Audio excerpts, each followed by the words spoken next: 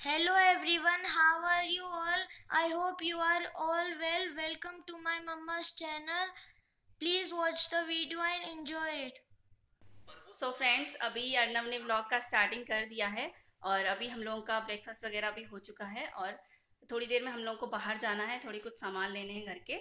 तो आप बने रहिए ब्लॉग में।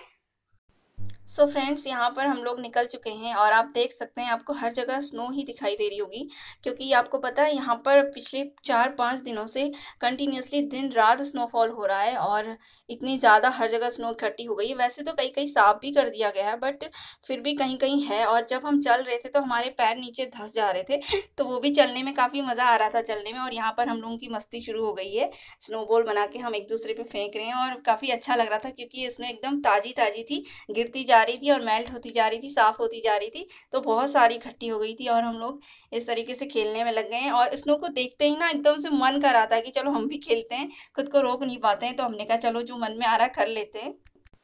और किस किस को ऐसे स्नोबॉल बनाकर खेलना स्नो में खेलना अच्छा लगता है, मुझे ज़रूर कमेंट करके बताइए। मुझे तो बहुत पसंद है। मुझे क्या हम लोगों को सभी को बहुत पसंद है। आई थिंक सभी को ही अच्छा लगता होगा। किसी मस्ती करना अच्छा नहीं लगता स्नो में तो ये तो अच्छी ही बात है। कोई बुरी बात इसमें है नहीं। और यहाँ पर हम लोगों का ना डेली का ही हो गया। मतलब डेली ही स्नोफॉल रहता है। तो ज़्यादातर यही रहता है। और कहीं कहीं मतलब कभी कभी बारिश होती है, वैसे मोस्टली यही रहता है। स्नोफॉल ही बना रहता है। तो हम लोगों के लिए अब तो ये आदत सी हो गई है हमें। और मेरे व्लॉग्स में दो तीन महीने और आपको स्नोफॉल वाले व्लॉग्स ही देखने को मिलेंगे। और, मार्च तक तो आई थिंक ऐसे ही मौसम रहेगा, उसके बाद थोड़ा सा चेंज हो सकता है।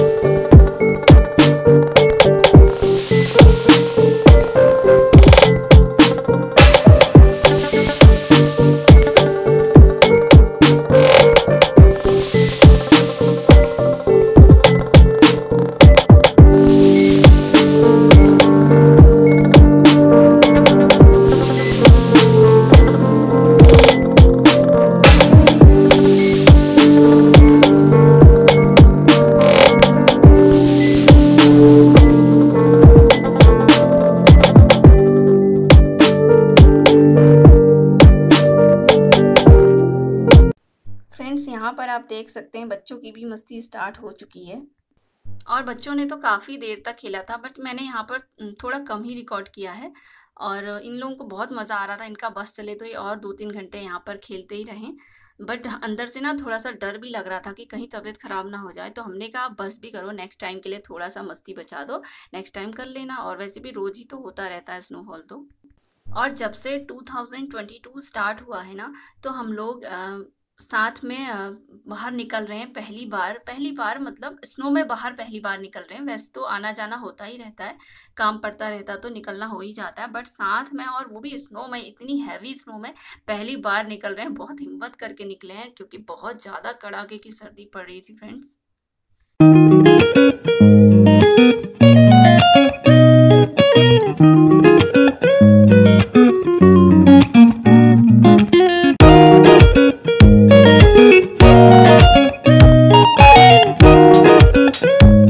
thank you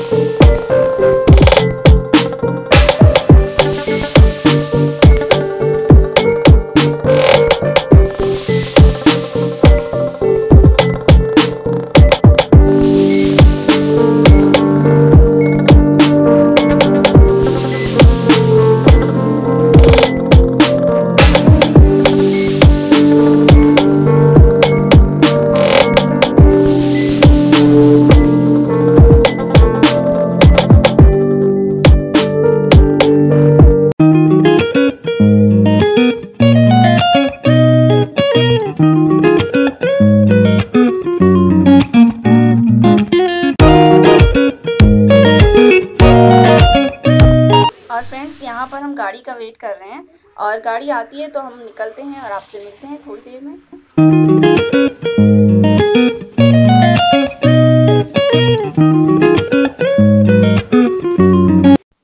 और हम लोग यहाँ पर शॉप में शॉप के पास ही में हम लोग पहुँच चुके हैं। और हमें जो भी लेना है सामान वगैरह हम फटाफट से लेकर निकलते हैं फिर घर को।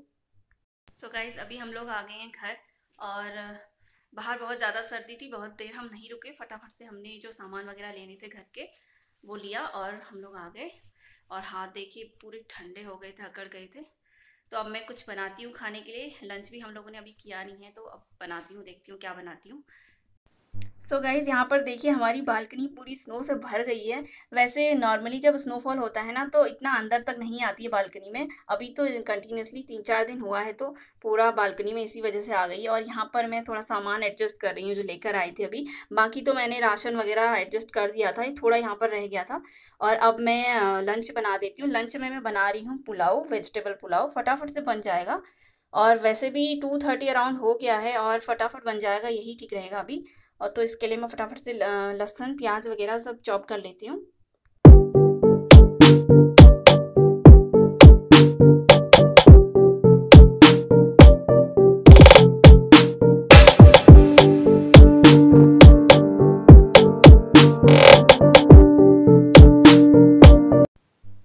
और मैंने कुकर को चढ़ा दिया है, उसमें ऑयल मैंने डाल दिया है और उसमें जीरा डालकर प्याज, लहसुन, टमाटर और जो भी मैंने वेजिटेबल कट करके रखी हैं, वो मैं डालूँगी।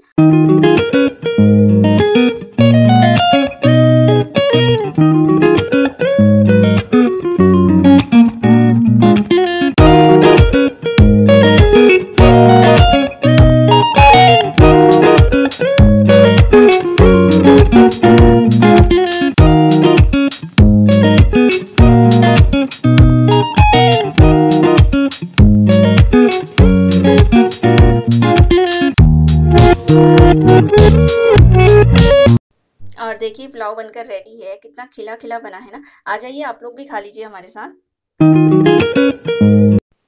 लंच वगैरह करने के बाद, बर्तन वगैरह क्लीन करने के बाद थोड़ा सा नैप लिया थोड़ा सा रेस्ट किया और अभी शाम के फाइव ओ क्लॉक हो रहे हैं, पाँच बज रहे हैं शाम के और मैं बनाने जा रही हूँ काढ़ा और आजकल हम लोग मोस्टली काढ़ा ही पीते हैं, चाय थोड़ा सा बंद कर दी है। कभी कभी मन करता है तो पी लेते हैं, वरना काढ़ा ही ज़्यादातर पीते हैं। तो वैसे भी कोविड बहुत ज़्यादा फैल रहा है तो ऐसे में यही ठीक है?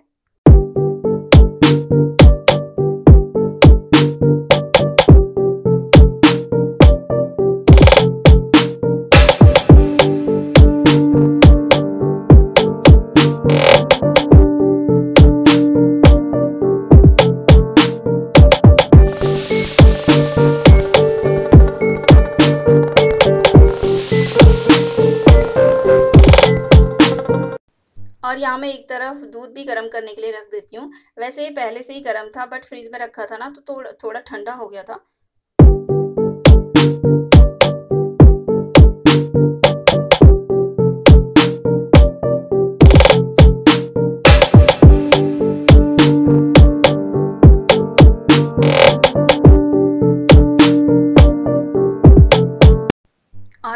काढ़ा पीते नहीं है तो मैं बच्चों को दूध दे देती हूँ यहाँ पर।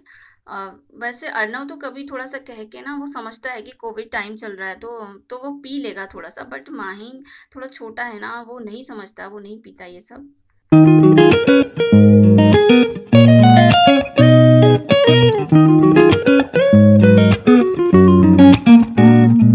सो फ्रेंड्स यहीं तक थी मेरी आज की वीडियो। आई होप आपको अच्छी लगी होगी। अगर आपको वीडियो थोड़ा सा भी अच्छी लगी हो तो प्लीज़ लाइक, शेयर करें। और चैनल पर नए आए हैं तो चैनल को सब्सक्राइब ज़रूर करें। तो फिर मिलते हैं आपसे नेक्स्ट वीडियो के साथ में। तब तक के लिए आप अपना ध्यान रखिए। बाय।